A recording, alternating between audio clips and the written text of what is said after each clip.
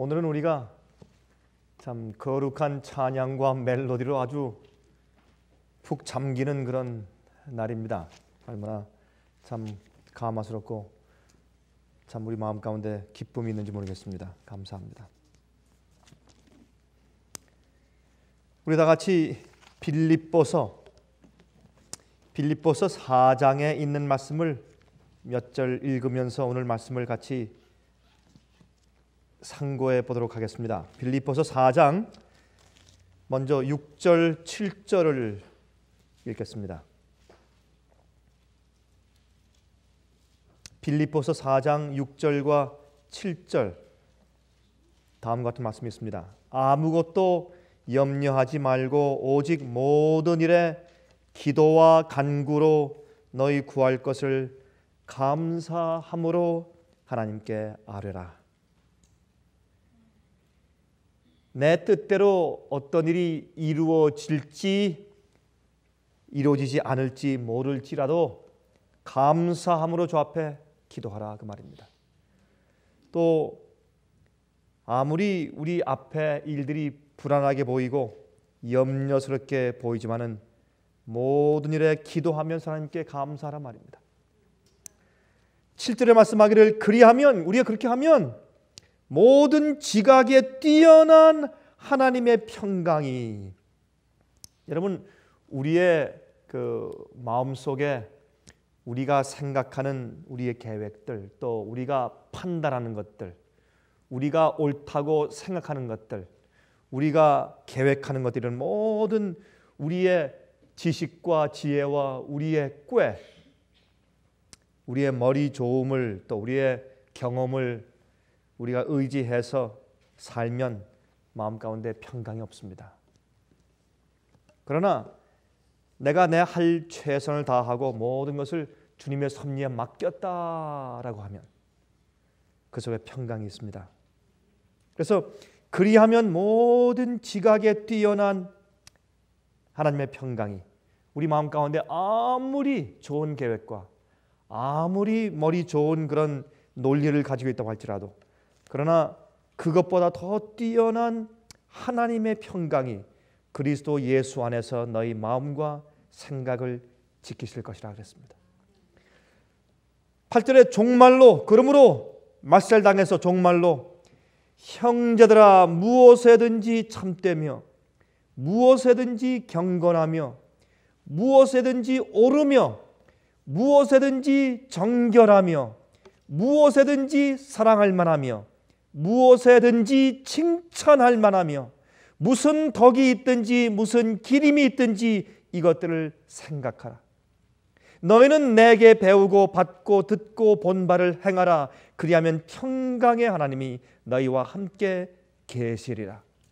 오 이렇게 하면 더 성공할 것이다. 저렇게 하면 사람들이 나를 더, 더 많이 좋아할 것이다. 인기가 더 있을 것이다. 오 내게 더 좋은 일이 생길 것이다. 더 행운이 있을 것이다. 더 좋은 승진이 있을 것이다. 더 좋은 축복이 있을 것이다. 그건 말고 너희가 무엇에 참여하며 무엇을 하든지 아무리 머리가 좋고 아무리 좋은 계획을 가지고 아무리 좋은 어떤 경력을 가지고 일할지라도 반드시 이것을 먼저 마음 가운데 둬라. 무엇을 하든지 무엇이 옳고 그런 것을 먼저 마음 가운데 가지라. 무엇이든지 정결하며 무엇이든지 사랑할 만하며 무엇이든지 주 앞에 칭찬받을 만하며 무슨 무슨 덕이 있든지 이것을 먼저 생각하라. 의로움 하나님 앞에서 용납받는 것들 주님께 인정받는 것들 받는 것들 의로운 생활 살며 경건하게 살라 그 말입니다. 이 말은 뭐냐면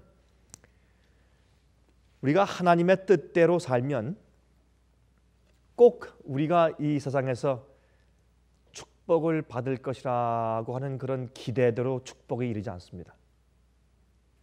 우리가 주님의 의를 따라서 살면 주님의 뜻대로 살고 진리대로 살고 주의 말씀대로 살면 그래서 경건하게 살고 정결하게 살려고 하고 또한 하나님께 인정받는 의로운 삶을 살겠다고 결심하며 살면 그것이 우리 생애의 목적이고 우리 생애의 뜻이면 그것이 우리 생애의 방향이면 꼭 우리가 기대한 대로 세상 일이 그렇게 잘 풀리지 않을 수도 있습니다.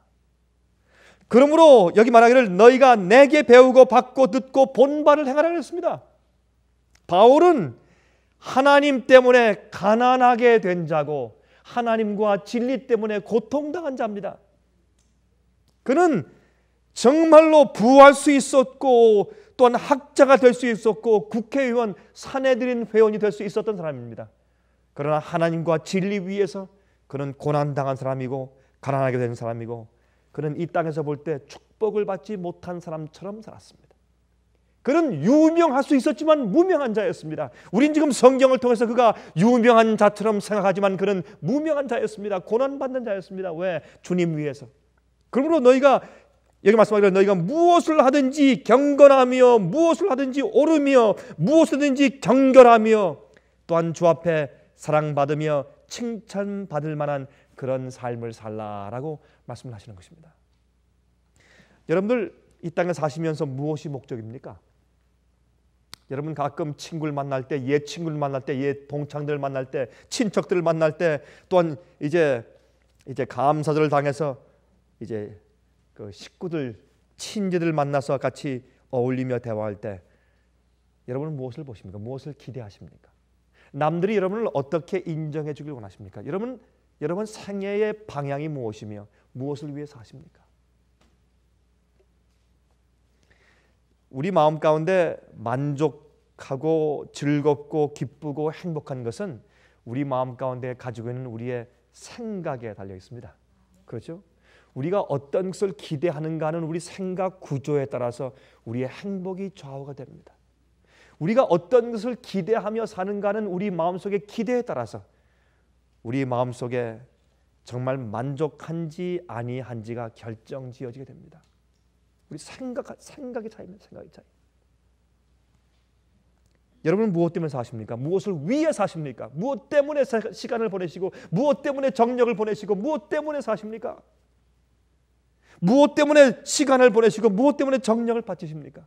그것이 우리 마음 가운데 자족할 수 있는지 없는지를 결정지어 주는 것을 우리가 보게 됩니다. 11절 11절 보십시오. 내가 궁핍함으로 말하는 것이 아니라 어떠한 형편에든지 내가 자족하기를 배웠노니 내가 비천에 처할 줄도 알고 풍부에 처할 줄도 알아 모든 일에 배부르며 배고픔과 풍부와 궁핍에도 일체의 비결을 배우노라. 내가 일체의 비결을 배웠다.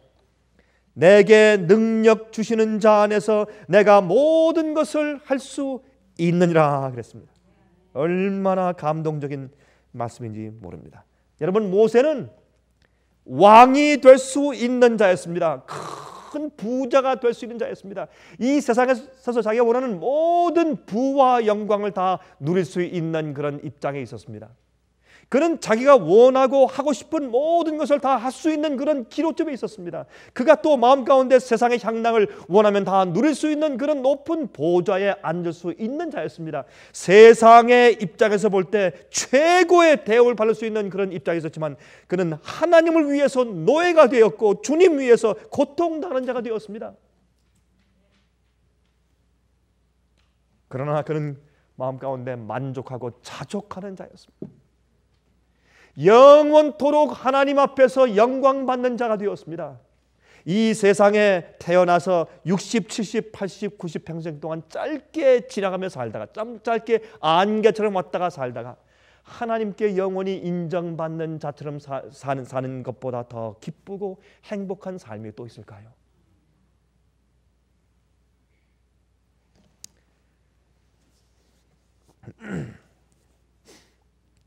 여러분 자족하다고 하는 것은요. 자족하다고 하는 것은 외부의 환경에 구애됨이 없이 내적으로 갖는 만족감을 말합니다.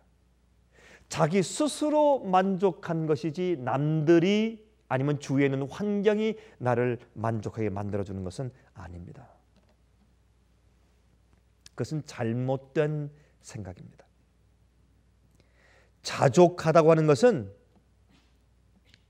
그것은 여기 말씀한 것처럼 내가 궁핍함으로 말하는 것이 아니라 어떠한 형편에든지 내가 자족하기를 배웠노니.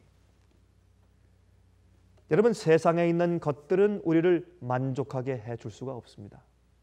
저는 부한 사람들 많이 만나보았습니다. 멋진 삶을 산다고 하는 사람들 제가 많이 만나보았습니다. 절대로 그러한 생애에 있는 것들이 세상의 조건과 환경과 분위기들이 여건들이 결단코 인간의 마음 가운데 만족을 줄 수 없는 것을 우리가 너무나 잘 압니다. 여러분 가운데서 아직까지 이 사실을 체험적으로 경험적으로 배우시지 못한 분이 계시다면 참 죄송하지만 여러분은 아직까지 인생의 유치원에 계신 분입니다. 그건 정말 행복과 만족이 무엇인지 그걸 전혀 알지 못하는 분들입니다. 인생을 사는데 수박 겉핥기식으로 약간 아는 분들입니다. 참 죄송하지만 그건 그 사실입니다.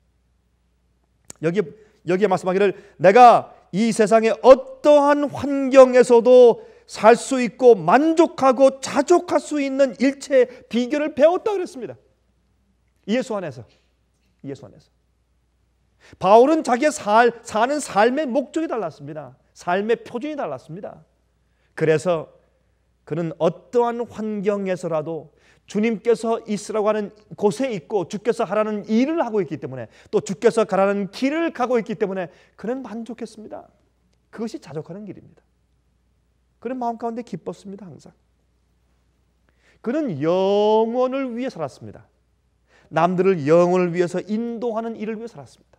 그것처럼 보람된 일이 또 어디에 있겠습니까?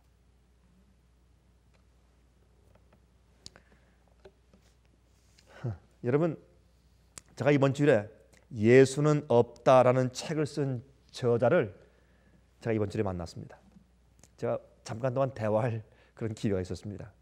참 제가 대화 좀 하고 나서 돌아서면서 제 마음 가운데 또 답답한 기분을 제가 느꼈습니다. 어쩌면 이렇게 답답할 수 있겠는가? 여러분 오늘날 이 절대 진리가 없다고 말하면서 우리가 믿는 성경에 기초한 우리의 믿음을 송두리째 그 기본 뿌리부터 흔들려고 하는 사람들이 많이 생겨나는 것을 우리가 알 수가 있습니다. 여러분 기억하시기 바랍니다. 초대교회가 지난 다음에 교부 시대가 시작되었습니다. 교부 시대. 근데 교부 시대가 시작되었을 때 이 아프리카의 북단에 있는 알렉산드리아 지방에서는 이 헬라 철학과 기독교를 이렇게 믹스해서 혼합시켜서 말하기 시작하는 이상한 그런 이 가르침들이 성행하게 되었습니다. 그때 이 교부 시대 가운데 우리가 알고 있는 기독교의 교부들은 거의 다 엉터리들입니다. 이 교부들은 성경에 있는 말씀을 있는 그대로 가르치는 사람들이 아니라 교회에 큰 혼란을 초래한 사람들이었습니다. 근데 그들 가운데서 이 이게 혼란을 초래할 때 특별히 혼란을 초래한 그, 그 얘기가 옛날에 그 영지주의인데 그 영지주의가 알레고리즘입니다. 알레고리즘. 그것은 이제 하나의 은유법, 비유법이라고 말할 수, 말할 수 있겠는데 성경에 있는 모든 것들은 하나의 그저 영적인 상징으로 영적인 교훈을 주기 위해서 이용한 어떤 얘기들이다. 신화 같은 이야기들이다. 비유다. 어, 하나님께서 일주, 일주일, 일주일 동안 세상을 창조하셨다. 그것은 하나의 비유고 얘기지 실제 그런 일은 없었다. 또 노아 방주 비유다. 처음 이렇게 한 것입니다. 오늘날 현대 알레고리 고리 고리즘에 어, 이런 사상이 얼마나 팽배한지 모릅니다. 종교 철학을 배운 사람들은 철학자지 종교인들이 사실은 아닙니다. 제가 이 말씀을 왜 갑자기 오늘 제가 말씀드린 이야기와 별 상관이 없는 듯한 얘기를 갑자기 말씀드리냐? 그 이유가 있습니다.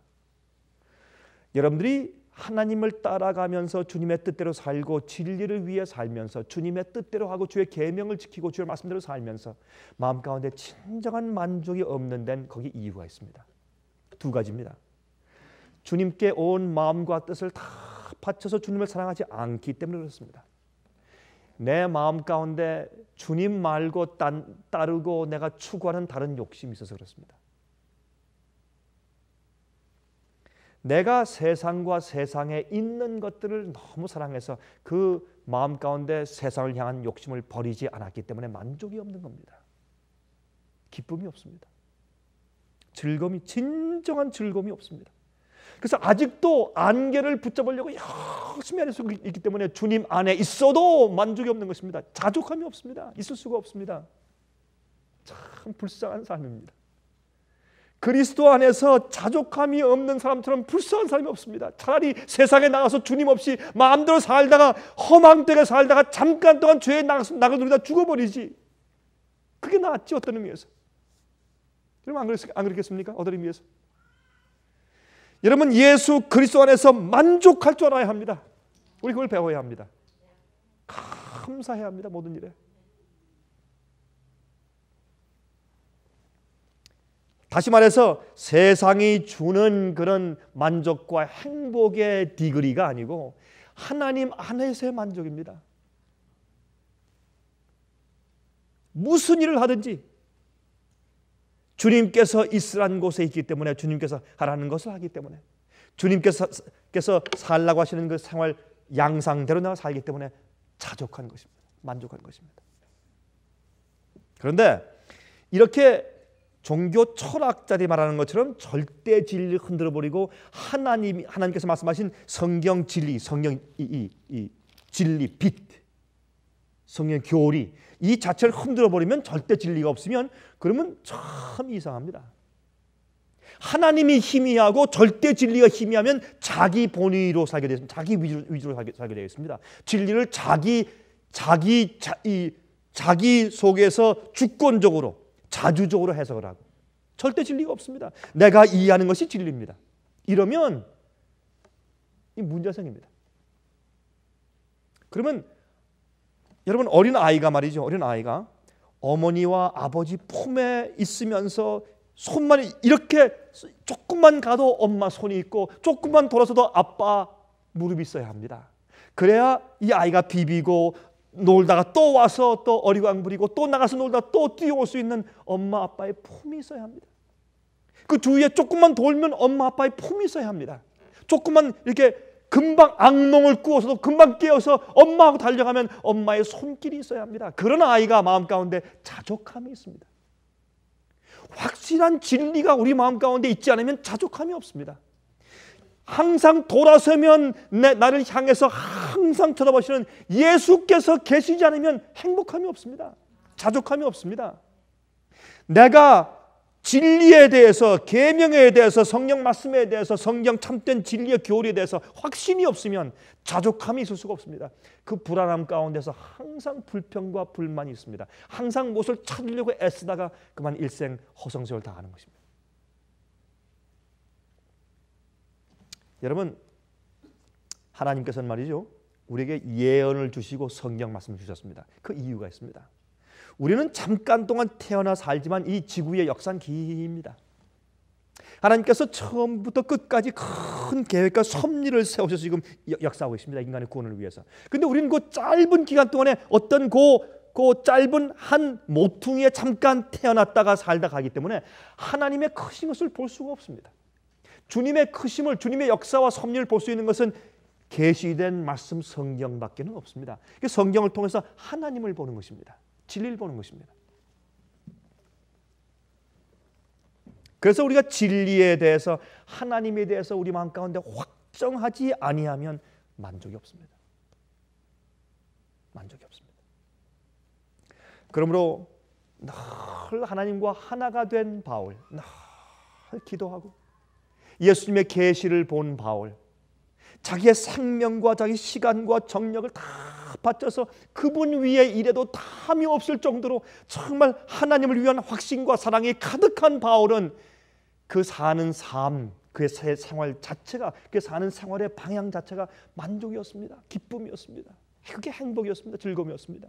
그게 그 마음가운데 소망이었고 조금만 참으면 조금만 참으면 이제 영원의 문턱이 있는데 그의 생활이 얼마나 보람 있고 기쁘고 즐겁고 만족한 생활이었겠습니까? 그렇죠? 그러므로 여러분 우리가 우리가 하나님을 향한 우리 온 마음, 마음을 다한 헌신이 없으면 절대로 세상에 만족이 없습니다. 두 번째, 여러분 세상에 붙은 욕심을 끊어버리기 전까지 만족과 행복은 없습니다.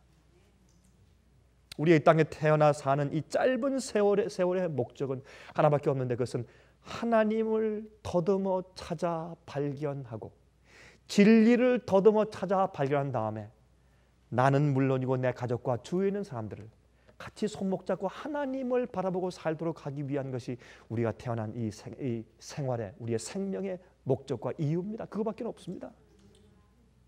그거 이외에 다른 일을 하기 위해선 우리가 사는 이 생애가 너무나 짧습니다. 여러분 태어나죠. 걸음말 배우죠. 먹는 거 배우죠. 건강한 거 배우죠. 여러분 소시알 사람들과 지내는 교제를 배우죠. 예, 지식을 배우죠. 합리성을 배우죠. 그것을 배우고 나서 이제 인사, 인생 생활을 하려고 딱 발돋움을 하려고 하면 20년이 지나가 버립니다. 20년이. 이 인간 생활을 어떻게 살까를 배우기 위해서 20년의 시간, 시간이 지나가 버려요. 20년 전까지 정말 인간으로서 정말 보람된 일을 할 수가 없던 업적을 행할 수가 없어요. 그 다음에 20년이 지난 다음에 어떤 일을 하려고 해보니까 또 무엇이 필요합니까? 경험이 필요해요. 경험. 경험이 필요해요. 경험. 경험 경험적으로만 알 수 있어요. 우리 인간은 말이죠. 지식만 가지고 살 수가 없어요. 그렇죠? 그래서 경험적으로 아는 지혜가 필요합니다. 지식을 얻고 살려고 시작해보니까 지혜가 필요해요. 또 지혜를 얻기 위해서 또 20년이 지나가요.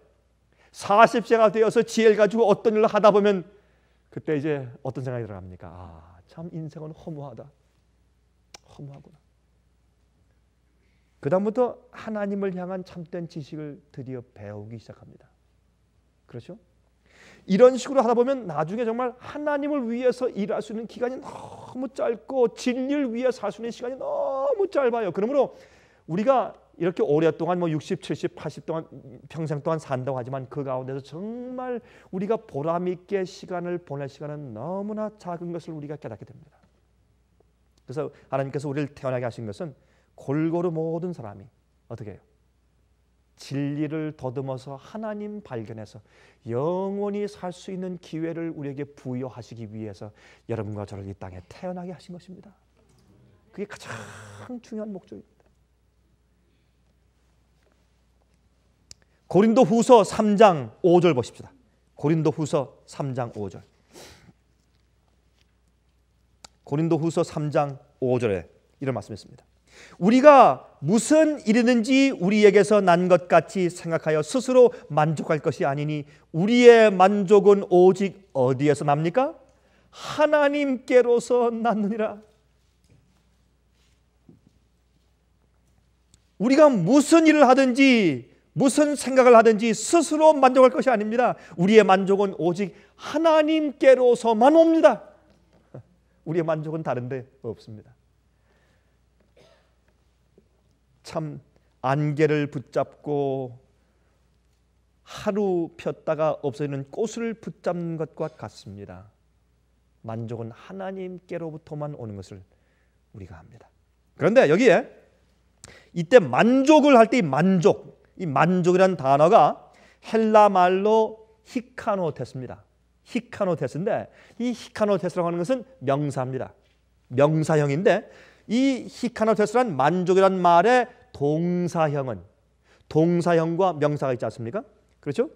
근데 이 만족 만족이라는 말에 만족하다, 만족히 여기다, 만족히 생각하다라고 하는 그 동사 히카노테스의 동사형이 어디에 기록되어 있냐면 바로 어, 고린도 후서 2장에 지금 3장 5절 봤지 않습니까? 그 전장에 있는 고린도서 똑같은 책 2장 16절에 기록되어 있어요. 이 흥미있는 얘기입니다. 이 사람에게는 사망으로 쫓아 사망에 이르는 냄새요. 저 사람에게는 생명으로 쫓아 생명에 이르는 냄새라. 누가 이것을 어떻게 해요? 감당하리요. 이 감당하리요 하는 요 단어가 바로 아까 우리가 읽은 3장 5절에 있는 만족이란 그 헬라 단어의 동사형입니다. 다시 말해서 만족이란 말의 동사형은 감당한다, 수용한다, 있는 그대로 받아들인다 그런 뜻입니다. 그러므로 만족은 뭐냐면 만족할 말은 자족입니다. 자족. 내 마음 가운데 내게 있는 형편, 내게 이루어오는 것들 그런 것들을 있는 그대로 받아들인단 말입니다. 있는 그대로 수용한다는 뜻입니다.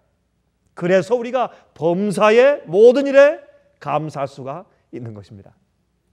감사는 조건이 아니고 형편이 아니고 환경이 아니고 감사는 주님께서 내게 베푸신 섭리를 있는 그대로 수용하는 태도인 것을 알 수가 있다 그 말입니다. 그게 성경적인 감사고 성경적인 만족입니다. 그걸 없인 세상에 만족이 없습니다. 그렇죠? 찾아보십시오 있는가? 찾아보십시오.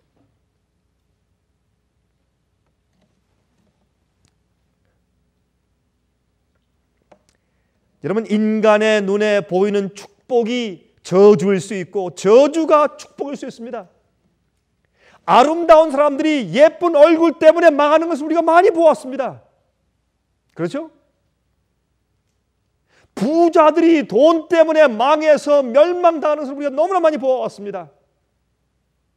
그 사실입니다.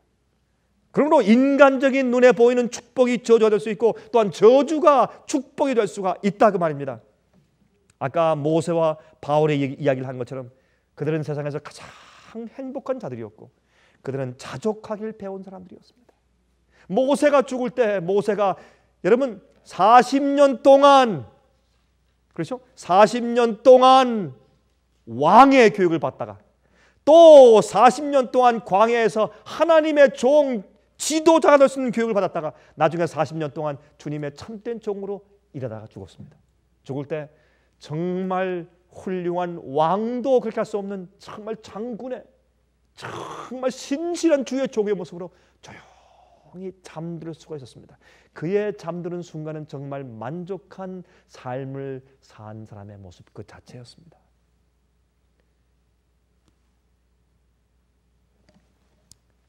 여러분 모세와 바울은요 성경의 말씀을 빼고서 우리가 인간적으로 생각하면 그들은 하나님 때문에 신세 망친 사람들이었습니다. 안 그렇습니까? 우리 우리 있는 그대로 말해 보십시다. 하나님과 진리 때문에 그들은 신세 완전히 망친 사람들이었어요. 그런 그런 그런 그 고생이 세상에 어디 있어요? 신세 망쳐도 여분수지. 그럼 우리가 이 세상이 주는 눈금을 눈금을 통해서 보지 마십시다. 압살롬. 여러분 압살롬. 압살롬은요, 여러분 이 사무엘 하를 보시면 압살롬은 너무나 아름다워서 너무나 아름다워서 이 정수리부터 발끝까지 흠이 없더라. 흠이 없더라. 남자가 아니 그건 여자가 아니고 남자예요. 남자인데 너무나 아름다워서 흠이 없더라. 뭐 정수리부터 발끝까지 흠이 없었어요. 아마 발톱까지 아름다웠던 모양이에요. 압살롬은.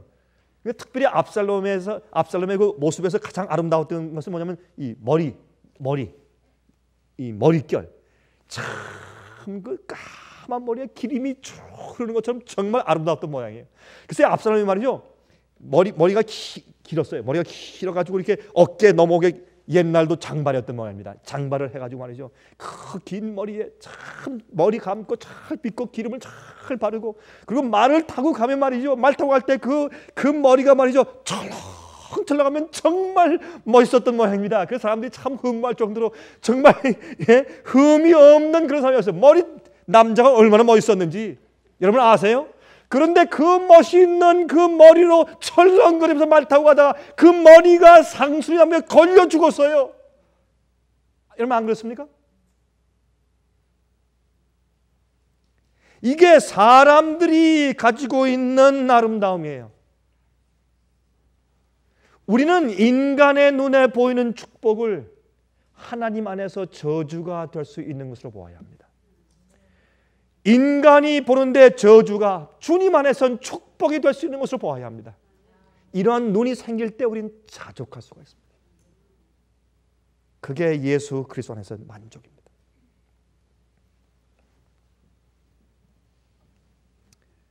죄의 결과는 고난입니다. 슬픔입니다. 고통입니다. 근데 이런 것들은 인간으로 하여금 영원을 사모하게 만들고 절실하게 만듭니다. 무언가 부족해 우리 마음 가운데 절실해집니다. 심령이 가난한 자는 복이 나니 천국이 저희 것이며 우리 마음이 가난해야 합니다. 그렇죠? 여러분 가난하다는 것은 없다는 뜻입니다. 있는 것을 사모하는 마음입니다. 영혼을 사모하게 됩니다. 죽으니까 영혼을 사모하고 병나니까 영혼을 사모하는 것입니다. 이 땅에서 어렵고 죄의 고통 때문에 우리 마음에 상심하며 하늘을 그리는 겁니다. 의를 사모하는 것입니다. 예수님을 사모하는 것입니다. 재림을 기대하는 것입니다. 그렇죠? 그러므로 우리의 이 세상에서 눈에 보이는 대로 만족을 찾지 말아야 합니다. 바울이 말한 것처럼 내가 일체의 일체의 비결 내가 배웠다. 일체의 비결을 배웠다. 제가 이번에 한국에서 한 여자 학생을 제가 이제 침례를 줬는데 전 침례를 베풀 계획이 없었는데 가서 이제 침례를 베풀게 되었습니다. 이제 14살 된 소녀 아이였습니다. 근데 꽤 키도 크고 그 행동이 너무나 이제 이 성장한 그런 아, 성숙한 그런 이제 학생이었기 때문에 제가 19살이나 20살 정도 된 줄 알았습니다. 물어보니까 14살이었습니다. 백혈병에 걸려서 류케미아에 걸려서 3개월이면 죽겠다고 하는 그런 사형 선고를 받았습니다. 그렇게 하다가 저희 집회 나오는 한 가정에 와서 철저하게 음식물을 개혁하고 철저하게 이제 생활 생활을 개혁하면서 하나님을 신뢰하면서 살게 되었습니다. 그렇게 해서 온전히 백혈병의 병이 나았습니다. 여러분 이 세상에서 의학적으로 이 컨벤셔널 메디슨에서는 백혈병을 고친다는 얘기는 없습니다. 백혈병이 걸리면 그건 죽는 겁니다. 그건 죽어버리는 겁니다.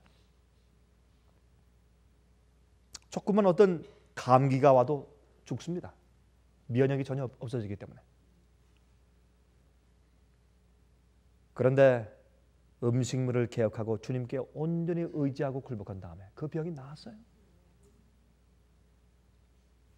침례 주는데 제가 많이 그 태를 보니까 14살짜리가 아니에요. 20살 이상 된 성숙한 사람이에요. 그리고 정말 회개했어요. 그리고 예수님을 의지해요. 그의 병은 그에게 축복이었습니다. 그의 백혈병은 그 영혼을 구원했습니다. 그게 축복이 아닙니까? 백혈병, 류케미아를 가지고서 자족하는 비결을 배우는 것이 신앙이 아닙니까, 여러분?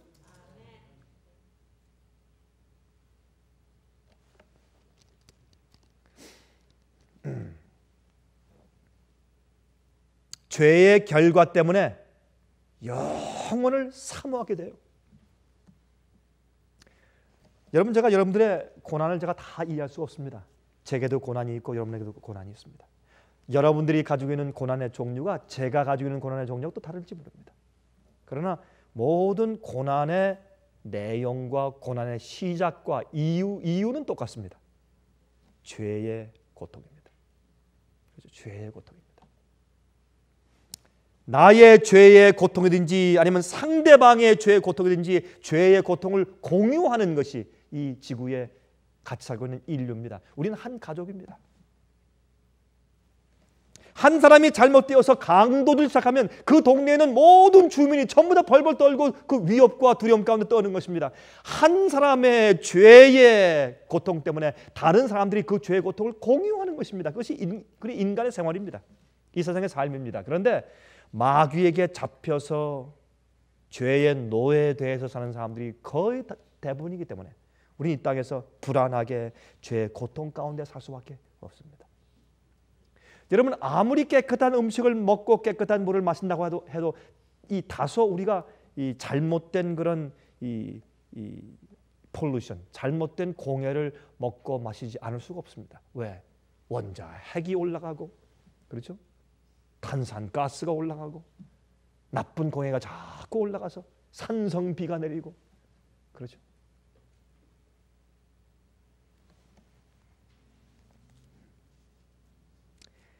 이번에 중국에 가서요.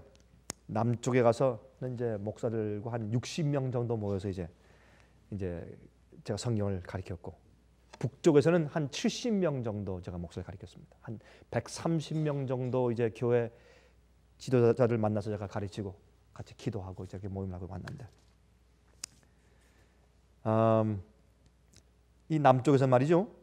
우리가 간 그곳이 이제 우한인데 그 우한은 제가 지난번 지난번도 제가 간다는 그런 소식이 그 미리 퍼져가지고 아 이거 박 집사님, 박 집사님 갔다가도 제가 간다는 소식이 퍼져가지고 그냥 갑자기 캔슬돼서 거기 가지를 못했어요. 그런 곳인데 이번에 갔을 때 이제 특별히 이제 거긴 굉장히 이제 아주 이, 이 주시하는 이제 눈이 많은 곳이기 때문에 이제 이제 교회 목사들 오라고 다 개인적으로 전화 다 한 다음에 어디까지만 오십시오.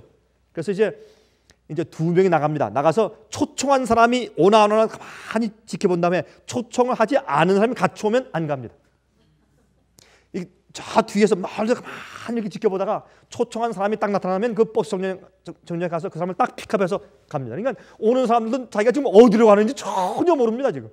그래서 와서 그, 그 정류장에 내려서 기다리면 사람들이 와서 딱 픽업해서 가는 것입니다. 그래서 이제 우리 이제 집회 장소로 데려가는 것입니다. 근데 그 빌린 장소가 5층 꼭대기에 있었는데 4층에 올라갈 때 철문이 있고 5층 올라갈 때 또 철문이 또 있습니다. 철문을 두 개 통과해 올라가서 집회할 수가 있습니다.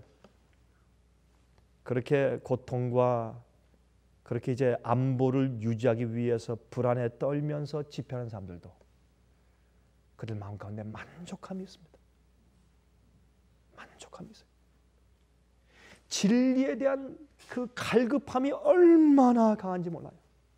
진리를 듣고 나서 진리를 알고 난 다음에 그들의 만족감과 눈물은 보지 않은 사람이 이해가 안 돼요.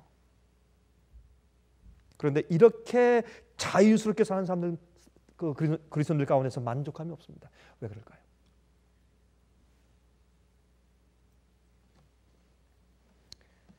이번 그 북쪽에서 그, 그 공주리 공주리에서 온 예, 중국 목사 가운데 이 목사님이세요. 이 목사. 이 사람의 그 교회 교인들이 한 천 한 이백 명 된다 그래요. 근데 얼굴 가만히 보니까 얼굴이 아 이렇게 말하면 될까요? 죄가 없어요. 그 얼굴 가운데 참 죄가 없어요. 제가 물어보니까 고생을 하는데 시골에 이 거의 버려진 집을 그저 얼마 주고 이제 구해서 샀냐면 버려진 집이니까 그 집을 샀는데 우리 미국 돈으로 미국 돈으로 70불. 이해가 되세요? 미국 돈으로 70달러를 주고 버려진 그 시골에는 폐허 같은 그 집을 하나 샀어요. 그걸 들어가서 다 이렇게 수리하고 꾸며 가지고 지금 살고 있습니다. 살면서 1,200명의 교인들에게 목회하고 있는 그런 목사였습니다. 봉급이 얼마냐 했더니 봉급이 한 달에 500유안, 우리 돈으로 한 60불 정도, 한 60불 정도 봉급까지 살고 있는 사람이에요. 근데요, 그 얼굴에 자족함이 있어요. 집에 왔는데 추운데 가만히 보니까 그 안에 쇠타는 껴 입었지만은 근데 정말 추울 것 같아요. 쇠탈 껴 입고 두꺼운 내복 입었지만 그러나 얇은 그런 여름에도 있고 겨울에도 같이 있는 뭐 양복이 하나밖에 없는 것 같아요. 까만 그 좀 얇은 걸 입고, 입고 입고 와서 제가 하도 안 됐어. 그 우리 최주사님한테 제발 밖에 나가서 아 좀 두꺼운 잠바 좀 하나 좀 사와라. 좀. 좀 입혀야 안 되겠다. 내가 내 강의하면서 내가 부, 내 마음이 불안해서 그 사람 보면 너무 추울 것 같아서 내가 불안해서 안 됐으니까 하나 좀 사오라. 그래서 아침에 저희 나가서 하나 사, 사 입혔어요. 그래서 도톰한 걸 입고 있는 걸 보니까 제 마음이 따뜻해 가지고 강의할 수 있었어요, 제가. 근데 그 따뜻한 잠바 하나 입고 저한테 와서 잠제 손을 붙잡고 감사도 악수를 하는데 그 얼굴에 죄가 없어요, 죄가. 여러분 제 이 표현이 좀 너무 지나친 것 같습니까? 아닙니다. 죄가 없어요. 그렇게 경건해요. 깨끗해 얼굴이. 얼굴, 여러분 우리 마음속에는 생각이 우리 이, 이 피부로 다 삐어져 나와요. 다. 다 나오게 돼 있어요. 우리의 불만과 우리의 의심과 의혹과 하나님께 대한 원망과 불평이 우리 얼굴에 다 나와요, 다.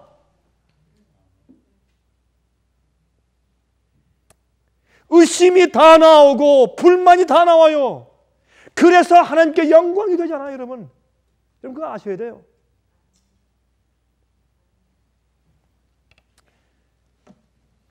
그래서요.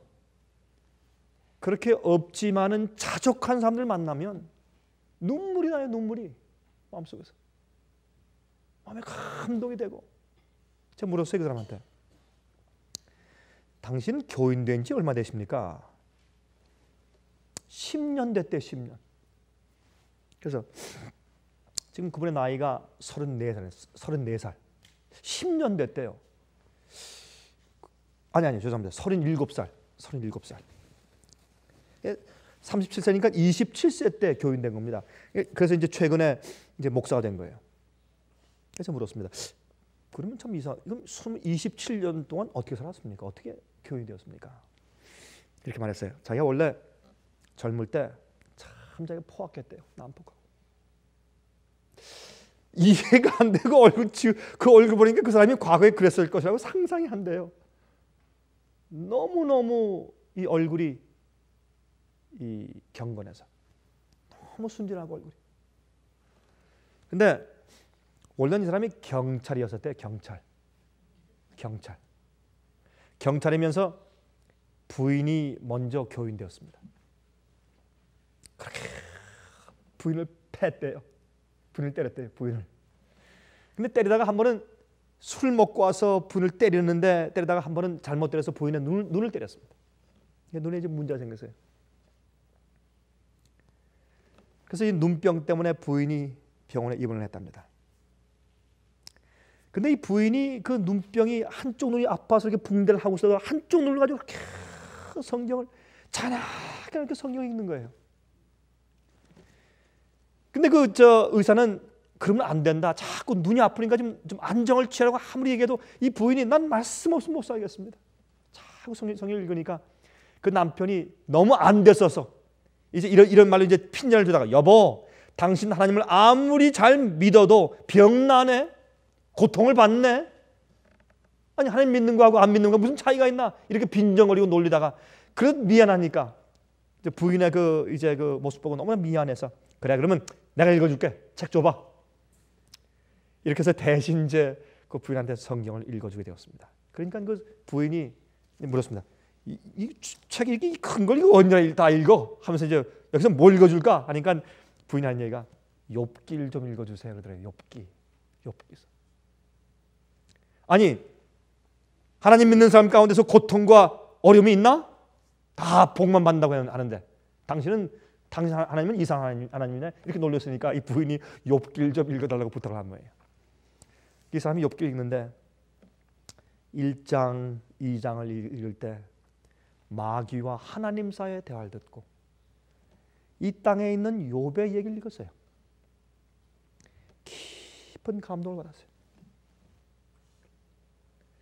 전 욥기를 처음 성경을 대하면서 욥기를 읽다가 회개하는 사람 제가 처음 봤어요.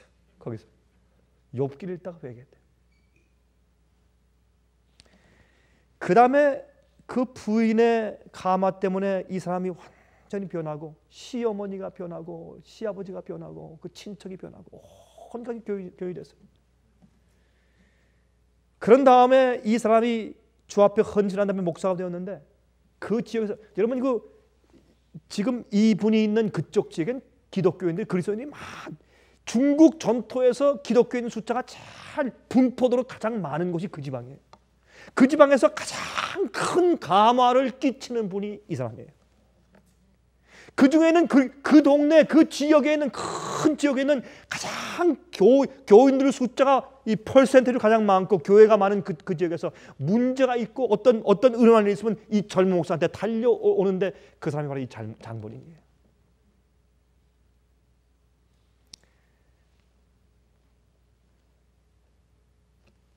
이 부인이 핍박당한 것과 고통당한 것은 인간의 눈으로 볼때 저주같이 보였지만 그것은 하나님께서 보실 때 큰 축복이었습니다. 여러분과 제 눈이 이렇게 바뀌어지기 전에는 우리 속에 자족함을 배울 수가 없습니다. 우린 만족이 어디에서 오는지를 알아야 합니다.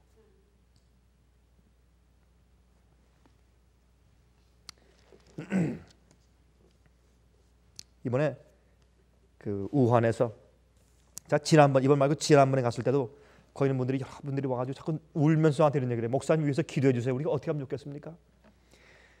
저기 있는 다른 교회들이 우리를 자꾸 못 살게 부려가지고 고소해가지고 교인들이 교인들을 고소해가지고 어려움 받게 해가지고 우리가 몰래 몰래 모아서 교회 건축을 하기 위해서 21만 유한 우리 미국 돈으로 약 한 2만 5천 불을 우리가 몰래 7년 동안 우리 모았습니다.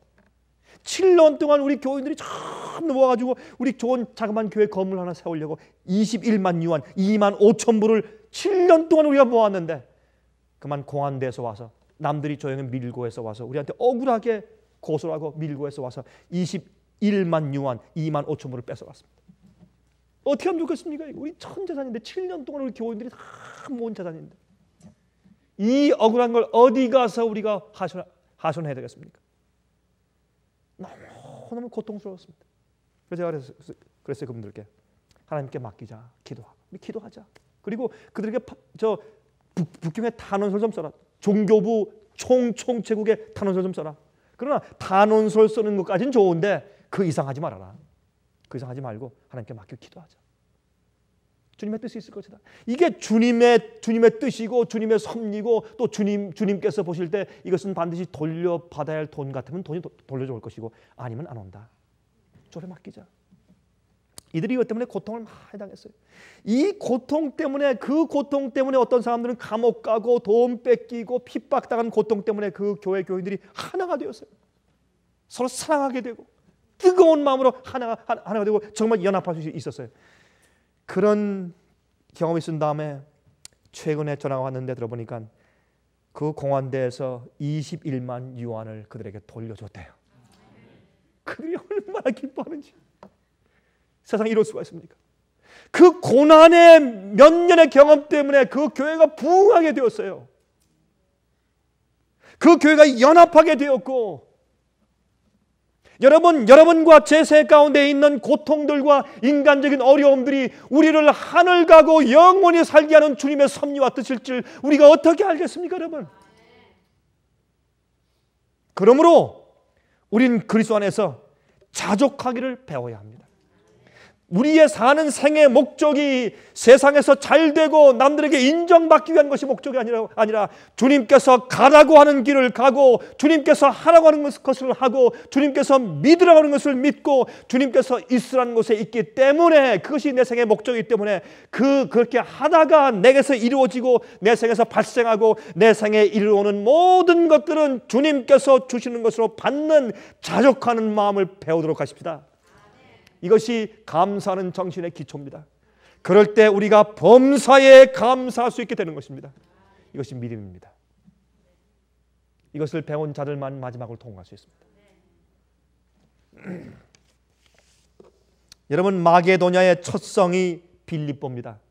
우리가 지금 빌립보서를 읽었지만은 빌립보서에 있는 그 이야기의 배경을 우리가 이해해야 합니다. 여러분 꿈 가운데서 그가 이제 소아세 지방에서 전할 때 꿈에 이 저 바울에게 어떤 얘기가 들렸습니까?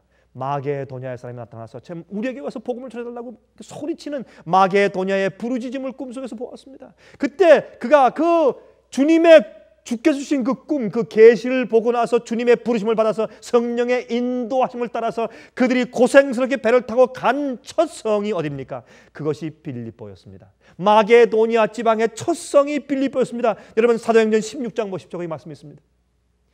여러분 첫 성에 주님의 계시를 받고 꿈을 보고 성령의 이끌림을 받아서 제일 처음에 선교 활동하고 복음 전하기 위해서 제일 먼저 가서 복음 전하는 것이 빌립보였습니다. 가서 어떤 일 당했습니까? 바울과 신라가 붙잡혀서 매를 맞고 빌립보 감옥에 갇혔습니다. 기가 막힌 일이었습니다. 그러나 그 속에서 그는 자족했습니다. 착고에 채였습니다. 예? 매 맞은 채찍에 맞은 등어리가 아팠습니다. 오, 그 그들의 그 죄수 옷에 피가 흥건히 배어났습니다. 그런 환경 가운데 밤중 늦게 밤 12시에 그들이 하나님께 찬송을 불렀습니다. 그 속에서도 그들이 자족하기를 배웠을 때 그때 지진이 땅이 흔들리면서 옥문이 열렸습니다. 그리고 간수가 구원받게 됩니다. 거기에서 간수와 그 식구들과 그 안에 있던 그래도 도망가지 않은 죄수들이 이제 예수님의 이름을 믿고 그들이 교인들이 되어서 시작한 교회가 빌립보 교회였습니다. 이 빌립보 교회는 바울에게 가장 큰 위로를 주는 교회였고 바울이 필요할 때 돈을 가장 많이 잘 보내준 교회였고 가장 바울과 함께 협력한 교회가 빌립보 교회였습니다. 왜요? 바울이 하나님 안에서 자족하길 배운 자이기 때문에 그렇습니다. 우리가 주의 일을 할 때에 뜻대로 살고 주의 말씀과 진리대로 따라 살려고 할 때 어려운 일들이 많이 생길 것입니다. 인간적인 기대가 어그러지는 일들이 많을 것입니다. 그러나 우리 마음 가운데 위로와 확증은 내가 주님께서 하라고 하는 일을 하고 있고 주님께서 살라고 하는 말씀 그 삶 그대로 살고 있다는 그것이 우리 마음 가운데 확신을 줄 수 있어야 합니다. 그때 우리가 자족할 수 있습니다. 그렇게 할 때에 남들이 어떻게 보든지 내게 어떤 일이 생기든지 내 마음 가운데 만족이 있을 수 있는 것이 그것은 주님께서 나를 인정하시기 때문에 그렇습니다.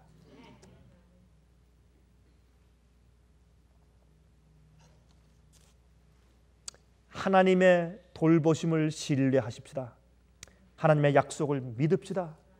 그리고 긍정적으로 우리 주의 형편들을 받아들이십시다. 주 앞에 기도한 다음에 주 앞에 맡기고 주님의 섭리를 이해하십시다. 그거 그렇게 해서 자족하기를 배우는 길은 하나님을 신뢰하는 길입니다. 우린 소망으로 구원받습니다. 우리의 소망과 우리의 모든 기대는 사실은 영원한 하늘에 있지 않습니까? 앞으로 우리가 주님 따라가면서 어려운 일 많을 것입니다. 앞으로 어려움이 더 많을 것입니다. 오늘 정말 주님 안에서 만족한 그 비결을 일체 기별을 우리가 비결을 우리가 배우기 때문에 미래 환란이 우리 마음을 흔드는 요소가 되지 않기를